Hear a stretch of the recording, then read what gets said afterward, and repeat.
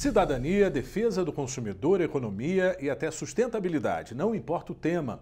Se você tem uma dúvida, nós respondemos.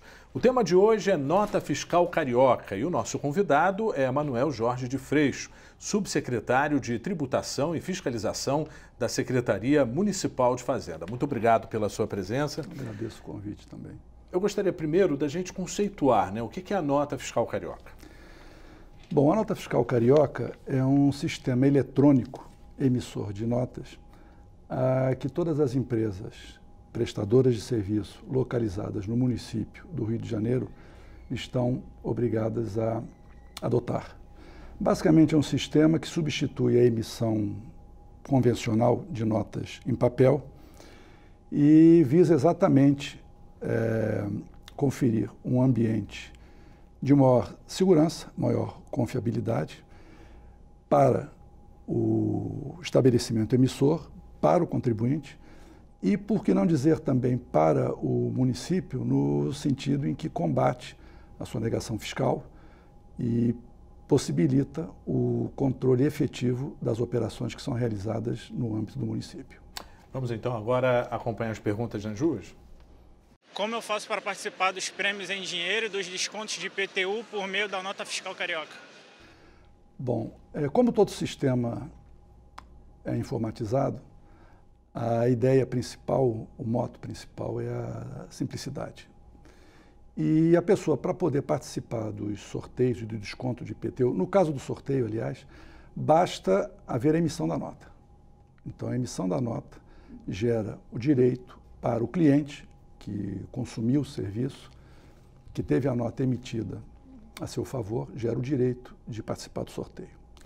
Com relação ao desconto de IPTU, é, o contribuinte deve, primeiramente, fazer o cadastramento, o seu cadastramento, no próprio site da Nota Carioca, se cadastrar como tomador de serviço, com dados básicos de endereço, CPF, etc., para que quando convocado, todo mês de setembro, a indicar um imóvel ao qual ele quer atribuir o crédito que ele acumulou, ele então possa, através de uma senha, através de uma através de se habilitar no sistema, indicar o imóvel para o desconto. Vamos então para mais uma pergunta. A nota fiscal carioca dá direito ao inquilino ter desconto no IPTU? É, no mês de setembro, quando ele tiver que indicar a inscrição imobiliária para a qual ele quer fazer, é, atribuir o desconto, ele pode fazê-lo, seja inquilino, seja proprietário. O benefício, evidentemente, vai para o valor do IPTU do imóvel. Como ele é inquilino, o que ele pode fazer? Ele pode, evidentemente, indicar é, a inscrição imobiliária do imóvel que ele está ocupando, Agora, é, ele pode negociar com o locador um desconto proporcional àquele crédito que ele está indicando para o imóvel. Mas isso é bom ressaltar. Isso é uma convenção particular dele com o locador. O que cabe ao município é, tão logo seja indicado o imóvel para o qual o desconto vai ser direcionado, a prefeitura processar isso e no IPTU do ano seguinte esse desconto virá contemplado no carnê do IPTU.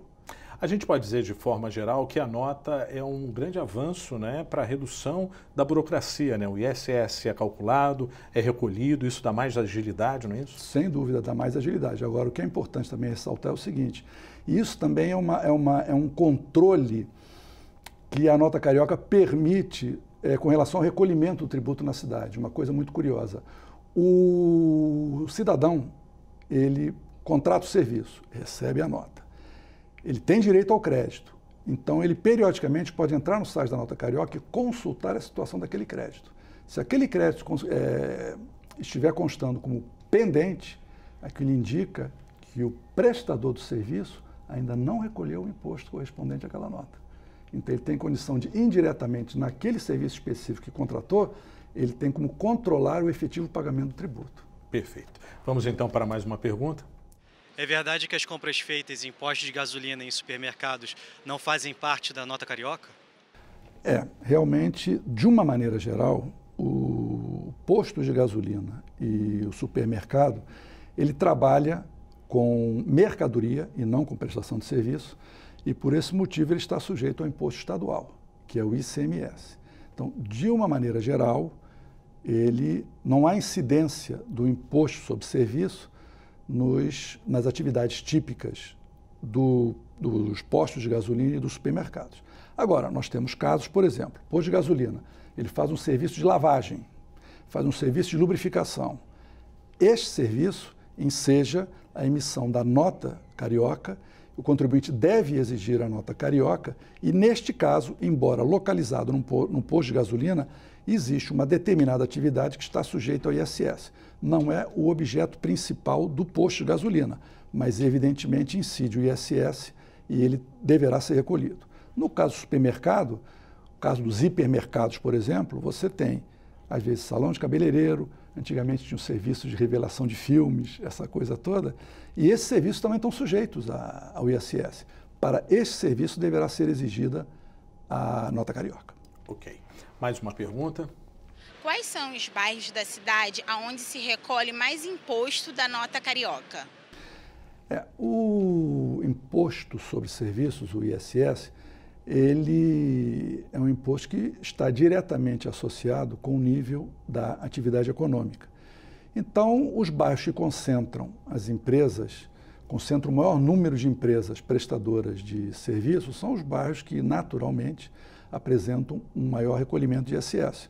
Eu poderia indicar, no caso, centro da cidade, bairro de Botafogo, por exemplo, que há muita prestação de serviços, que há uma quantidade muito grande de clínicas em Botafogo, e a própria Barra da Tijuca, como os bairros em que a gente verifica uma maior, é, uma maior representatividade na arrecadação do ISS na cidade do Rio de Janeiro.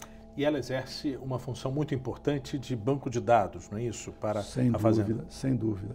A nota carioca, no aspecto interno, ela permite que a gente é, verifique, através do comportamento da Receita, quais os, os bairros, quais as regiões e até quais as atividades que estão se destacando mais, outras se destacando menos.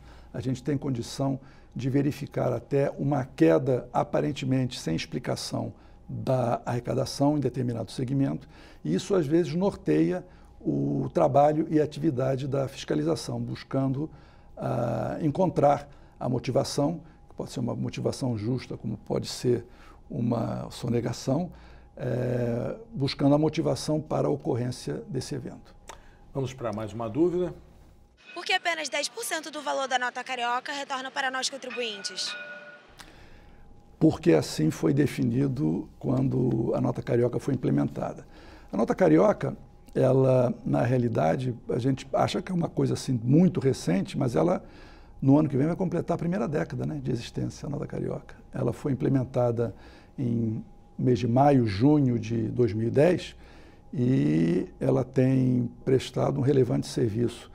Acredito eu para a cidade e com toda certeza para a administração tributária, porque agilizou procedimentos, reduziu custos e tornou mais efetiva, mais objetiva a nossa atuação, que, ao fim e ao cabo, é o de elevar a arrecadação e, com isso, poder proporcionar melhores condições de atendimento às demandas da população. Vamos então agora para a última pergunta. Como as informações a meu respeito são armazenadas e utilizadas pela Prefeitura do Rio? As informações que o cidadão ele disponibiliza quando faz o cadastro inicial na nota carioca, elas ficam restritas à nota carioca e são utilizadas exclusivamente no ambiente da nota carioca. O ambiente da nota carioca é um ambiente muito seguro. Nós dispomos de uma sala-cofre com uma série de requisitos de segurança. E até voltando a, na primeira pergunta, quando fala do sorteio, o cadastro na nota carioca é importante para o cidadão porque na eventualidade, vamos dizer assim, dele vir a ser sorteado, é, uma eventual dificuldade na localização desse contemplado pode ser dirimida com uma consulta ao cadastro que ele fez na nota carioca, seja por e-mail, seja por endereço. E aí o contato com esse contemplado, ele se torna mais rápido. E aí a gente atende o objetivo que é premiar aqueles que através do seu comportamento como cidadão, que é exigir a nota fiscal em todas as suas transações, premiar esse comportamento cidadão do, do, do contribuinte, do cidadão. Muito obrigado, então, pelas Eu suas agradeço informações. a oportunidade também. E o Câmara Livre fica por aqui. Até o próximo encontro.